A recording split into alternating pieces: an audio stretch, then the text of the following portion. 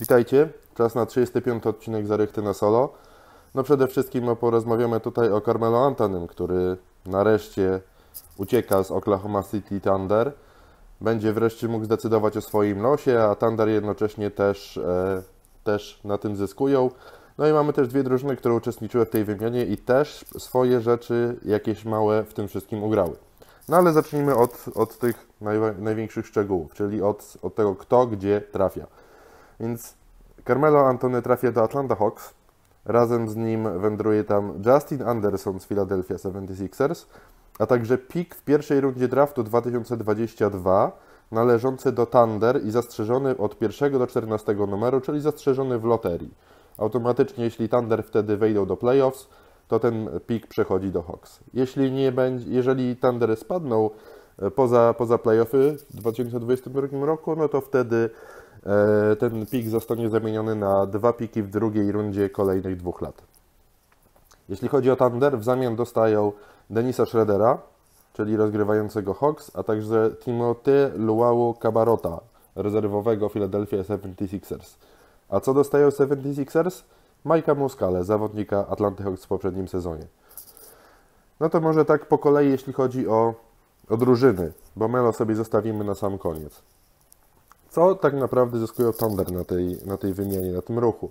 Przede wszystkim oszczędności, bo jak zostało wyliczone, to łącznie będzie około 100 milionów dolarów nawet na przestrzeni dłuższego, dłuższego czasu, bo po pierwsze nie będą musieli płacić Melo, nie będą musieli rozkładać jego kontraktu na kolejne sezony, e, przejmując też kontrakty Schroedera i, i Justin Iluwało Cabarota oszczędzają, no bo ich kontrakty łącznie stanowią około 10 milionów mniej w tym sezonie niż, e, niż Carmelo, w związku z czym to już jest oszczędność bardzo duża, a mogą jeszcze z, zwolnić kolejnego zawodnika, który im nie pasuje, na przykład takiego Kyla Singlera i zaoszczędzić kolejne kilkanaście milionów dolarów.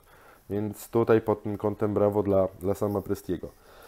Zyskują też wreszcie porządnego zmiennika dla Russella Westbrooka, no bo co by nie mówić, Dennis Schroeder jest zawodnikiem bardzo dobrym. To jest gość, który przez kilka lat był podstawowym rozgrywającym Atlanta Hawks i był też był tym rozgrywającym podstawowym nie tylko teraz, kiedy Hawks e, ryli nosem o, o, dół, o, o dół tabeli, ale był też także w latach, kiedy Hawks grali w playoffach. Więc to nie jest zawodnik, który, który gra dobrze tylko i wyłącznie wtedy, kiedy ma obok siebie ogórków. Także to jest dobry ruch, bo Westbrook wreszcie będzie mógł trochę więcej odsapnąć, będzie mógł dostać więcej wolnego. Nie będzie jego zmiennikiem wyśmiewany przez lata Raymond Felton i Felton wreszcie stanie się trzecim rozgrywającym swojej drużynie. Ale z drugiej strony nasuwa się pytanie, skoro Dennis Schroeder nie chciał grać w Atlanta Hawks, którzy grają o nic, czy będzie w stanie pogodzić się z rolą rezerwowego rozgrywającego? W krótkiej perspektywie pewnie tak. Pytanie, na jak długo? Pamiętajmy, że Schroeder ma przed sobą jeszcze 3 lata kontraktu, za każdy rok płacone po 15,5 miliona dolarów. Więc to też są ogromne pieniądze jak na rezerwowego rozgrywającego, który powinien dostawać maksymalnie 15 minut w meczu bo wątpię, żeby Westbrook więcej odpoczywał. Ale nie widzę przy okazji też, od razu Wam powiem, nie widzę sytuacji, w której Westbrook i Schroeder mieliby grać razem. Obaj zawodnicy bardzo lubią grać z piłką w rękach i obaj zawodnicy rzadko, znaczy oddać ją potrafią, tak, ale, ale nie są graczami, którzy będą stali w rogu i czekali na to, aż ktoś im odrzuci piłkę. To, to, to się nie, nie sprawdzi. Tym bardziej, że obaj nie grzeszą rzutem za trzy punkty.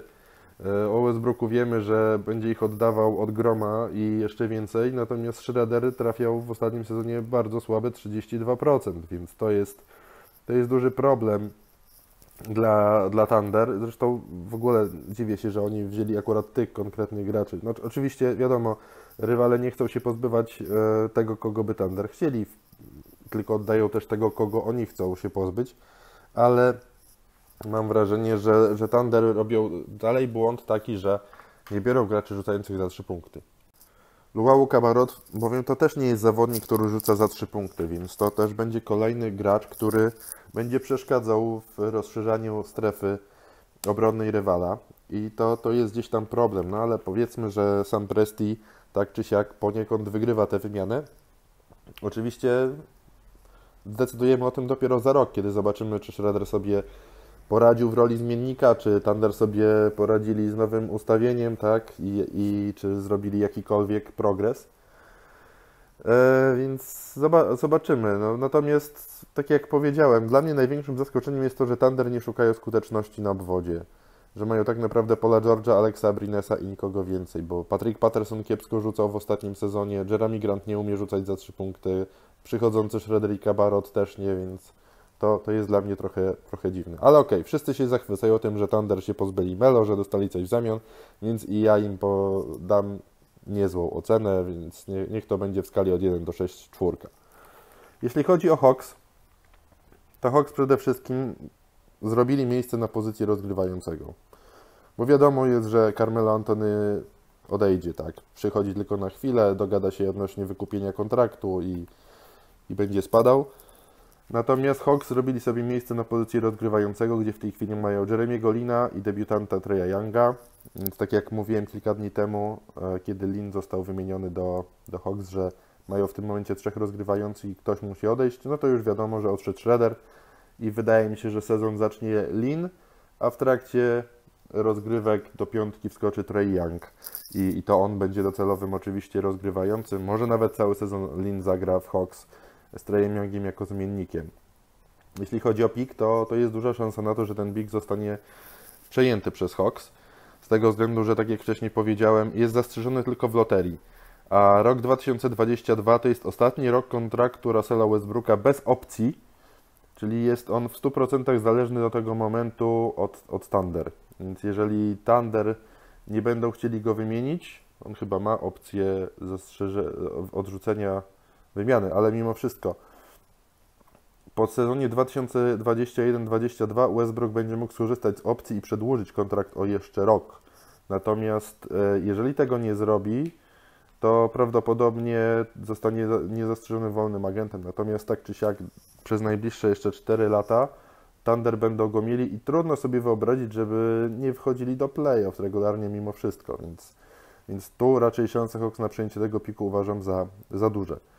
Mają też oczywiście miejsce w salary cap dzięki temu, temu ruchowi, no bo jak się pozbędą Carmelo Antonego, to wiadomo, że e, będą mu musieli zapłacić, ale będą mieli dziurę w salary cap i ja myślę, że tą dziurę, jak to mają w swoim zwyczaju, przeznaczą na graczy, których wcześniej wybrali w drafcie, więc myślę, że to chociażby Torian Prince będzie beneficjentem tego rozwiązania, a w dalszej kolejności John Collins czy właśnie Trey Young, no bo powiedzmy sobie szczerze, Hawks nie ściągają dobrych wolnych agentów. Jak sobie przyjrzałem listę w ostatnich latach, to to byli to Dwight Howard, który wiadomo w jakiej sytuacji przychodził, tak, po nieudanym eksperymencie w Houston i wcześniej w Lakers. To także Paul Millsap, który przychodząc do Hawks nie był zawodnikiem kalibru All-Star, był po kilku niezłych sezonach w Utah Jazz, ale nigdy o All-Star się nie, nie ocierał, więc wybiera, wyciągali go jako solidnego średniaka z NBA, a zro, oni zrobili z niego gracza na potencjale All-Star. Więc tu nie spodziewam się, żeby, żeby Hawks zaszaleli na rynku wolnych agentów. Nie dlatego, że nie lubią szastać pieniędzy, tylko dlatego, że przede wszystkim do Atlanty wolni agenci, ci najwyższego sortu, nie chcą iść. Więc to, to, trochę, to trochę determinuje, w jaki sposób oni będą wydawać pieniądze. No i wzięli też Justin Andersona z Philadelphia 76ers, który jest młodym zawodnikiem e, na niskim kontrakcie, takim graczem idealnym do tego, żeby przez rok się sprawdzić, czy, czy będzie w stanie w takiej drużynie grać jakieś, jakieś minuty i czy jest jakimkolwiek potencjałem na, na kolejne sezony, kiedy drużyna miałaby zacząć już grać lepiej. Sixers się nie odnalazł, nie przebił, więc e, podejrzewam, że w Hawks będzie dobry na jeden sezon, no, no może nie na jeden, na te sezony, które Hawks spędzą w dole tabeli. No i ostatnia drużyna w tej, w tej wymianie czyli Philadelphia 76ers. Sixers wyjęli tak naprawdę jednego zawodnika w tej, w tej wymianie, to jest Mike Muscala przejęty z Atlanta Hawks. No i to wydaje się taki naturalny zamiennik dla Nemani Bielicy, którego mieli podpisać, który potem stwierdził, że jednak nie, bo chce iść do Europy, a teraz rozmawia z Sacramento Kings, więc, więc Sixers próbują jakoś załatać tę dziurę. No i Muscala jest niezłym rozwiązaniem, bo to jest gość mający ponad 210 cm wzrostu, Gość, który rzuca za 3 punkty ze skutecznością prawie 38% w poprzednim sezonie, więc tu na pewno będzie, będzie dobry. Oczywiście nie ma takich umiejętności rozgrywania, jakie, jakie miał Bielica, no ale powiedzmy, że to nie jest jakaś wielka ujma dla niego, no bo nie, nie wymaga się też od takich zawodników e, aż tyle. Tym bardziej, że do, do grania na piłce Sixers mają i Bana Simonsa, i Markela Fulsa, i Dario Saricia, więc tutaj e, Muscala bez, bez rozgrywania, ale za to z dobrym rzutem będzie na pewno bardzo pozytywnym graczem dodatkowym w tej drużynie. Dodatkowy też jest fakt taki, że oddając Luau Cabarota i Justina Andersona uwalniają trochę minut na, na obwodzie. Nie jest to jakaś wielka liczba minut, ale, ale zawsze trochę. I może ktoś z tych młodych graczy, jak właśnie wybrani w drafcie Zaire Smith, czy też wybrany, wzięty już rok wcześniej Furkan Korkmaz, ktoś z nich dostanie może wreszcie minuty na obwodzie. Oczywiście to też jest uzależnione od, od jednej wymiany, która gdzieś tam wisi w powietrzu, czyli powrót do Filadelfii Kyla Corvera. W zamian za niego ma być e, oddany do Cleveland Jared Bayless, ale to jeszcze, jeszcze do tego kawałek drogi, żeby, żeby to się udało. No i wtedy wyobrażacie sobie jednocześnie biegający po obwodzie JJ Redick i Kyle Corver. To byłoby naprawdę coś, coś fajnego. No dobrze, ostatni i najważniejszy chyba, najbardziej szczęśliwy człowiek w tym całym towarzystwie, czyli Carmelo Antony. Szczęśliwy z tego względu, że po pierwsze dostaje te pieniądze, które chciał, czyli 27 milionów w najbliższym sezonie i dodatkowo może sam sobie wybrać drużynę, w której zagra i jeszcze dostanie za to minimalny kontrakt. Także to, to jest dla niego na pewno dobry, dobra chwila i na pewno Melo się cieszy.